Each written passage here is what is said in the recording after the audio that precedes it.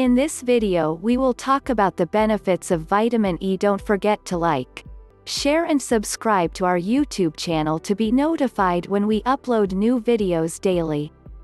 Oxygen is one of the primary components of nature that supports life. The same oxygen, when inside the body, through certain molecules, becomes overly reactive and starts causing damage through the formation of free radicals.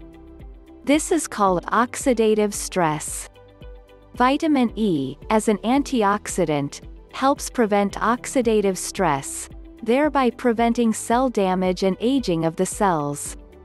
The body absorbs cholesterol, a fatty substance in foods, and this is transferred from the liver to different tissues to be stored as fats. They are carried in the bloodstream by a molecule called low-density lipoproteins, LDL.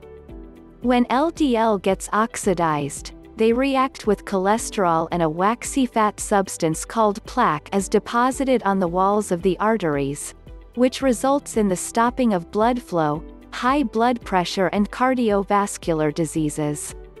Vitamin E helps prevent the conversion of cholesterol into plaque, and this is done by alpha-tocopherol, not any other form of vitamin E, because liver places it preferentially in the bloodstream through a protein called alpha-tocopherol transfer protein. The effect of vitamin E in preventing cancer has not conclusively been established. Researchers have noted that not just vitamin E alone, but foods rich in antioxidants may be able to protect from cancer. Numerous studies have established the effect of vitamin E in protecting the skin from ultraviolet radiation, whose harmful effects include photodermatitis, an allergic-type reaction to the UV rays of the sun. Vitamin E, whether taken through foods or applied topically, has been shown to protect skin cell membranes.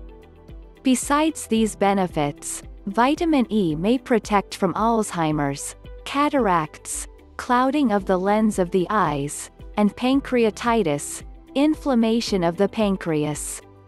Also, vitamin E may be beneficial in healing wounds and burns, reducing scars.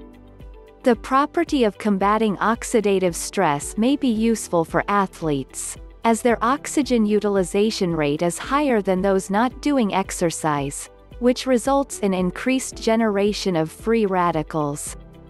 Without proper conclusions from studies, it would be premature to opt for supplements without the advice of medical practitioner. However, it is generally recommended to take several servings of vegetables and fruits that are rich in antioxidants. I hope you found some useful information and tips. I look forward to hearing from you. Warning. None of the information on our videos is a substitute for a diagnosis and treatment by your health professional.